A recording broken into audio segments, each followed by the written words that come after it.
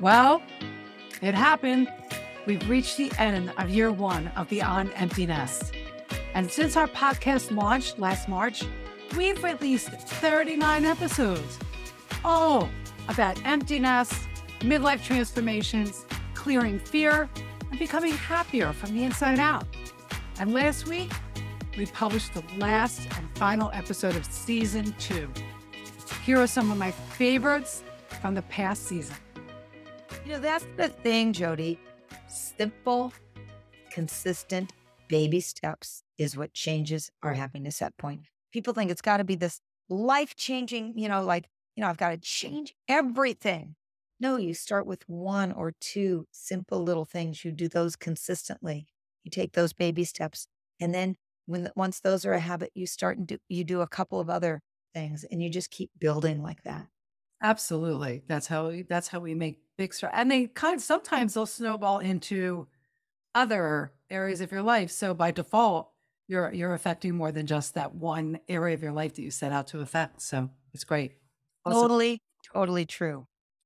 That's part of episode 25 with my happy for no reason mentor, Marcy Shimoff, an absolute highlight of the past season. Next, I want to introduce you to Stephanie Ball. She was my guest for episode 28, and her advice is especially important during this busy season.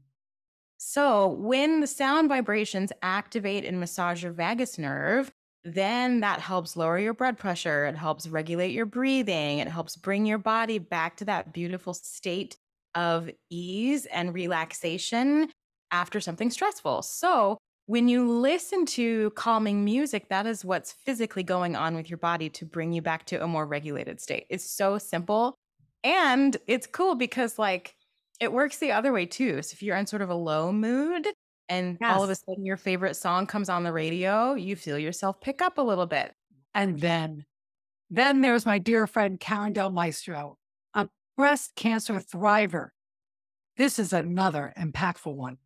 I recently went through 13 biopsies and I stayed calm throughout. And so I know firsthand, and what I share is always often from my own knowledge. So, one of the things that I think is so important is staying calm and it, it's getting in touch with all of the spinning that's going on in your mind right? I, it's like we've got a snow globe up there and somebody's right. shaking it. And we've got all of these thoughts. And you, I know you talk about thoughts a lot and how many we have.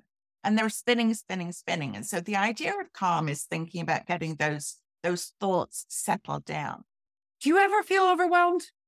I think we can all say, yeah, we do. That's why I wanted to share the following highlight from season two with you. Until I really feel my own worthiness that I'm as worthy as any other person in the world. I'm as worthy as the person I'm interacting with. They're not worthier than I am. Then, until I can feel my worthiness, it's really hard for me to take time for myself, for me to say no to requests that are simply going to be overwhelming and too much for me. I want to really know that I have value. But what often happens is that if we grew up in an environment through no fault of anybody else, we didn't receive the love and care we needed all the time. Kids can internalize that as a sense of, well, it's because there's something wrong with me. It's because we try to t- make sense of the world as it happens to us. Yeah. And so if we got ignored or even abused or something like that, inside it can feel like it's my fault. That was Ann Weiser Cornell from episode 33. I'm going to share one more season two highlight, and then I'm going to give you a little sneak peek into season three. Here's Reverend Karen Cleveland. Sometimes, eh, so our animals are always, first of all, they're always communicating with each other, and they're always trying to communicate with us. And if you're, you know, of the generation that we used to call the radio station all the time during a contest or something, and you pick it up, you know, and you dial it's busy, hang up, it's busy, hang up, it, you know, it's busy, busy, busy, busy. And that's, it's like the, um, the animals are getting a busy signal every time they're, they're trying to tell us something yeah. because our brains are so occupied.